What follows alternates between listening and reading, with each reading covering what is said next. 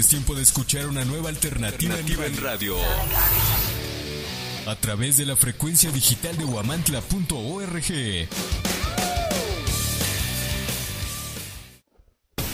Es tiempo de escuchar una nueva alternativa, Alternativa en radio. a través de la frecuencia digital de huamantla.org.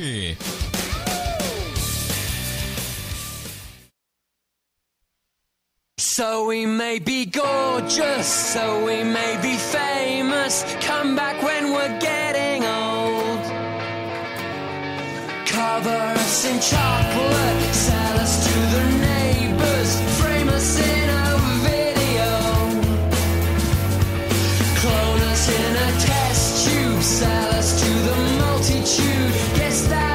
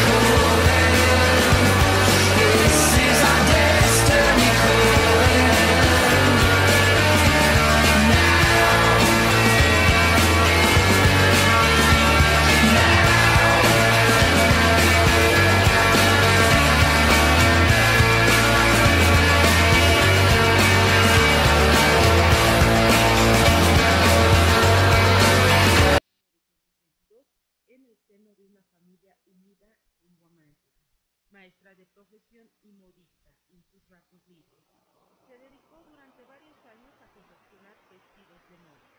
De ahí le nació la inquietud de bordar los vestidos de la Virgen de la Caridad, porque la Virgen solo portaba uno y era el de Gares. En el año de 1963, Carito inició con el bordado de los vestidos y manto de la Virgen de la Caridad. En este año cumplió 52 años de tener la responsabilidad del bordado de los vestidos. La madrugada del sábado 5 de diciembre dejó de existir Carito. Sufrió un infarto. Versiones de sus familiares comentan que se despidió de las personas que estaban más cercanas a ella. Autoridades municipales este día lunes por la mañana realizaron un homenaje frente a la presidencia municipal. Descanse en paz la maestra Carito Hernández Castillo. Para Informativo Guamantla, Maribel Saldaña.